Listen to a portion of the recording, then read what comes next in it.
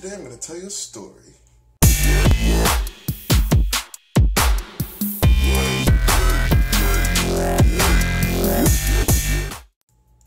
So today we're throwing it back.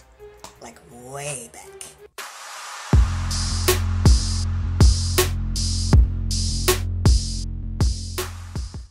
Not that kind of back, but like fetus Jordan back. I'm gonna tell you a story from when I was in elementary school. Alright, so just so you have a little history about me, I was a really good student.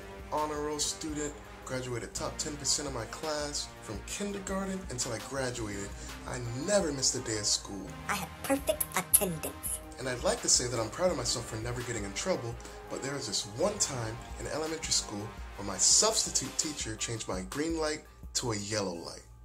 But why did you get a yellow light, Jordan? I am glad you asked. So it was nap time, and I couldn't sleep.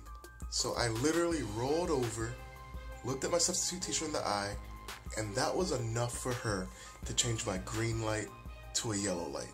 Do you know what a yellow light means in elementary school? I wasn't allowed to go outside and play that day. This is literally what happened.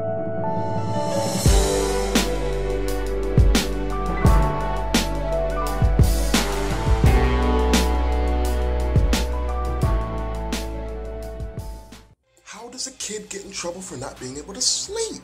I know it's been over 10 years since this happened, but I just can't get over it. I wonder what she's up to now.